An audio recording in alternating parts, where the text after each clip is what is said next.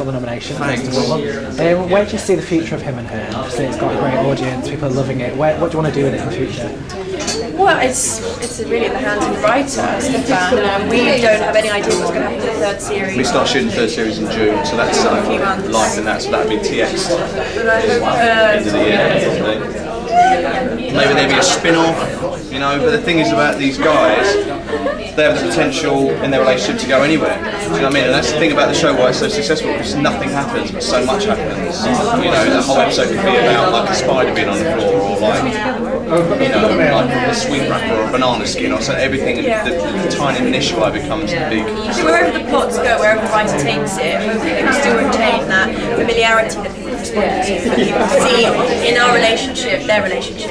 We get so many people saying, well that's what my girlfriend does, that's what my boyfriend does. And hopefully even if the storylines get a bit bigger, they'll still be able to relate to it. What kind of feedback do you get on things like Twitter and social media? Amazing feedback. I don't haven't read hardly I haven't read anything negative really.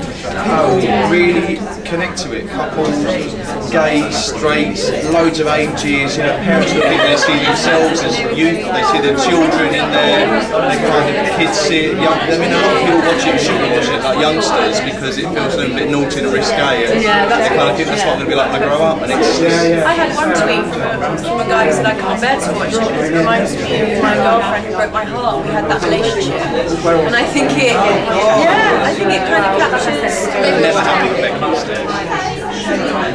What's your tweet? Go. Sorry, mate. yeah, shame on you. That's what- We've had an amazing response. I mean, that, and that's why we were going to first.